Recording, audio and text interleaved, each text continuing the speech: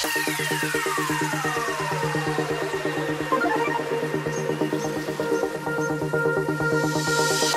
जानेंगे most important topic के बारे में, जो कि है जैविक निकायों में उपसय संयोजक यौगिकों का महत्व। जो जीव जंतु या इंसान हैं, उनमें उपसय संयोजक यौगिक पाए जाते हैं कैसे और उनका क्या महत्व है? तो इस बारे में हम जानेंगे। तो नंबर एक है हीमोग्लोबिन।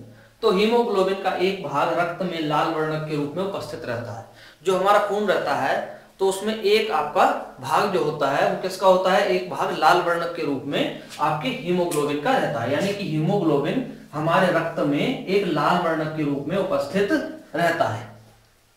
अच्छा हीमोग्लोबिन जो है, वो ऑक्सीजन के साथ क्रिया करके ऑक्सी हीमोग्लोबिन और आपका जल बनाता है।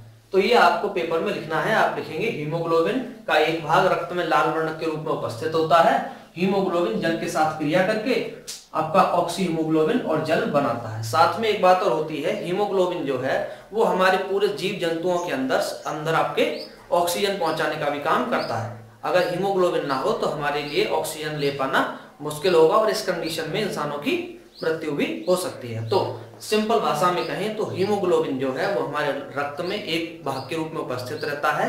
साथ में ये हमारे शरीर में आपके ऑक्सीजन को प्रवाहित करने का भी कार्य करता है।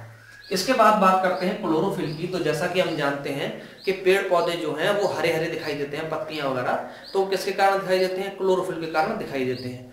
और जो पेड़ पौधों में प्रकाश संश्लेषण की क्रिया होती है, जिससे कि पेड़ पौधे अपना भोजन प्राप्त करते हैं या ऊर्जा प्राप्त करते हैं, आप इसे ऐसे भी बोल सकते हैं। तो किसके कारण हो पाती है? वो आपके क्लोरोफिल के कारण ही हो पाती है। जैसा कि हम जानते हैं कि जो भी आपके पद, हरे पेड़ पौधे होते हैं, वो सब आपकी सूर्य के प्रकाश जल और आपकी कार्बन डाइऑक्साइड को लेकर के अपनी ऊर्जा प्राप्त करते हैं अपना भोजन प्राप्त करते हैं। इस क्रिया को हम प्रकाश संश्लेषण कहते हैं और यह प्रक्रिया जो है, वो पत्तियों में होती है।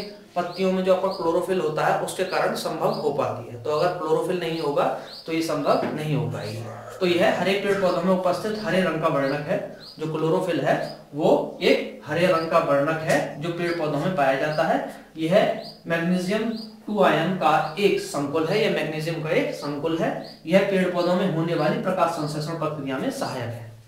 आप ये सीधे ऐसे ही बोल सकते हैं कि यह पेड़ पौधों में हरे वर्णक के रूप में उपस्थित होता है और यह पेड़ पौधों में होने वाली प्रकाश संश्लेषण की क्रिया में सहायता करता है, जिसके, जिससे पेड़ पौधे अपनी ऊर्जा प्राप्त करते हैं। चाहे तो आप इस लाइन को छोड़ भी सकते हैं, कोई खास बड़ी बात नहीं है।